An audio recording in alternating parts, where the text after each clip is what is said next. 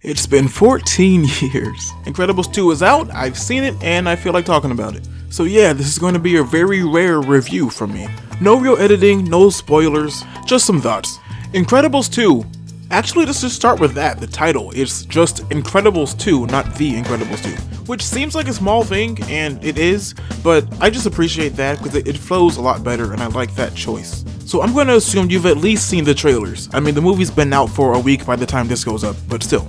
I mean, I don't see every movie like within a week, so I won't assume that you have. So from the trailers, you should be able to tell that Helen slash Elastigirl pretty much has a job opportunity or superhero opportunity, and that's the main focus of her side of the story. And Bob slash Mr. Incredible has to stay home pretty much, and he has to deal with the kids, and he's sort of got a stay-at-home dad thing going on. Pretty much the opposite of the first movie and you can tell there was, you know, a little bit of jealousy going on there and that sort of thing, right? And then there's a villain called the Screenslaver, who does, I guess, villainy stuff. I guess you should get that point, I guess. and of course, superheroes are still illegal.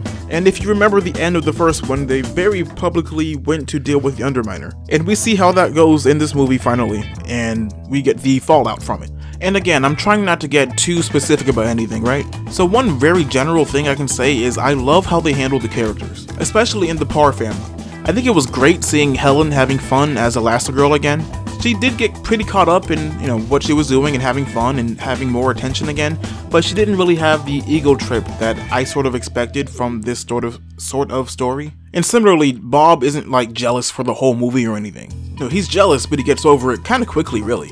And he pretty much just turned all of that energy into focusing on trying to do the best he could taking care of the kids, especially Jack Jack.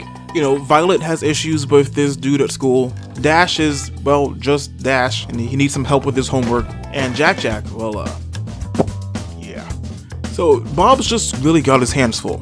He's not the annoying dumb dad trope. He's legitimately just doing everything he possibly can and exhausting himself trying to handle these three superpowered children on his own. And I think this is what I was most worried about from the trailers, how Bob's storyline would go because it felt like it was going to be sort of something you see all the time, too often, and it's never really entertaining. Or even if it is, it's just been done so often that you don't care. But it really wasn't that. And I think the biggest reason is because he really doesn't feel like that dumb dad just in over his head. He feels like a real dad in over his head. And that's way more relatable and way more enjoyable.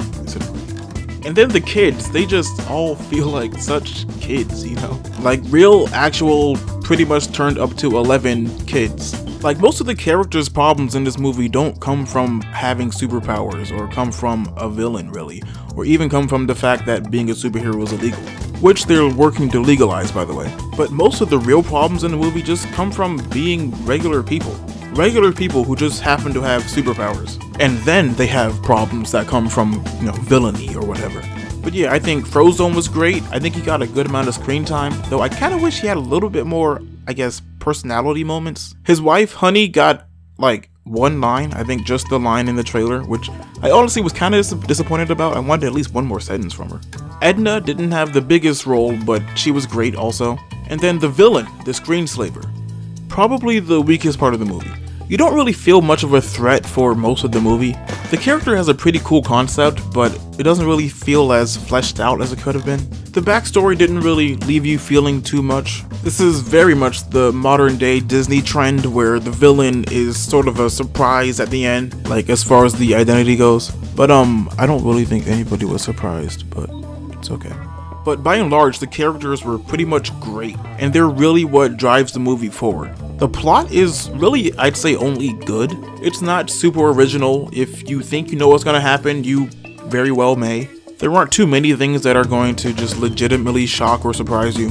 But what's pretty much just an average or maybe slightly above average story is really elevated by the characters. Like, they are the reason you care about what's going on in this movie. And on top of that, it looks so good.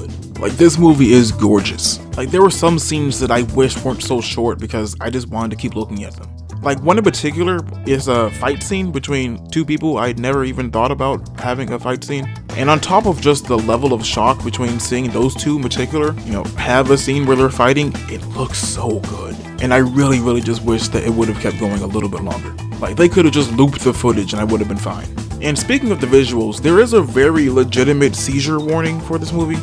One scene in particular, of course. Like, it's some pretty intensely flashing lights for a kind of long amount of time. So, you know, if you are epileptic or you have some sort of sensitivity to that, I really would advise not going to see this. Or at least be aware that that scene is in there. I don't know, maybe go with someone who's already seen it so, so they can warn you that it's coming up. I don't know. Like, it's pretty jarring and disarming when you're not epileptic or something. Just, you know, just letting you know. And I know I don't think quite as many people actually die as in the first one, but this does feel like a legitimate PG. You know how like a lot of PG movies lately feel like they're only PG because they did something specifically to not be a G? This is, you know, still The Incredibles, which can get pretty intense. You know, there is alcohol, there's mild profanity, which actually kind of took me by surprise. You know, it's it's definitely a PG. So if I had to sum it up, I'd say that Incredibles 2 is a really good movie. Probably not great, but really good. It has some pretty average or standard feeling plot lines that are really elevated by the characters and by the animation, and by the smaller moments that aren't exactly plot relevant but are still a big part of the movie. And I'd say elevated by the character groupings in a lot of ways too. Seeing different characters interact with each other in ways you didn't really see in the first one or didn't see much. Like scenes with just the kids and it feels like I didn't really know I needed this, but now that I see it, I really needed this. You know, the movie's far from perfect, you know, the villain is certainly no Syndrome, but I feel like it's very much a worthy sequel to The Incredibles, and I do think it was worth the wait. Now, if I had to rate the movie, I feel like if you were looking at it on paper, it would be around a 7 or so, but the execution really elevates it to at least an 8, I'd say. I'd give it a pretty solid 8. 8 out of 10. And comparing it to the first one, which is inevitable, I feel like The Incredibles is definitely the better movie, but I totally understand if you enjoy Incredibles 2 more. It's definitely good and enjoyable enough for me to understand that. I'm not really sure where I stand there. I mean, I've only seen this one once and I've seen the first one for 14 years, so, you know, give it some time. Thank you so much for watching, or I guess really just listening this time. Let me know what you thought about the movie in the comments. And if you got this far, you know, like like the video or dislike it, you know, whichever one feels right. Like I always say, whichever one feels right. If you dislike the video, hit that button, let me know. And subscribe if you wanna. And if you do that, hit that notification bell to let your Speter stamps tingle when I upload. I don't really know what next week's video is going to be right now, but yeah, I guess I'll see you then.